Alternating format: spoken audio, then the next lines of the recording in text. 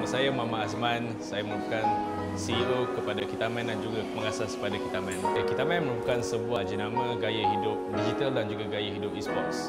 So, maklumat kami adalah untuk uh, memberi akses kepada semua golongan untuk menceburi bidang e-sports dan juga video games di Malaysia.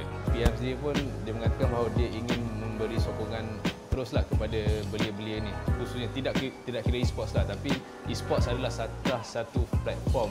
Uh, tanggal 8 Mac 2018 kami memeterai satu uh, perjanjian persefahaman bersama MDEC untuk memajukan uh, industri e-sports di Malaysia ini. Dengan adanya sokongan Perdana Menteri insyaAllah dalam masa setahun dua tahun kita akan melihat anak Malaysia sendiri bertanding di luar negara dengan begitu ramai dan membawa nama Malaysia sebagai salah satu negara e-sports yang terhebat di dunia ini.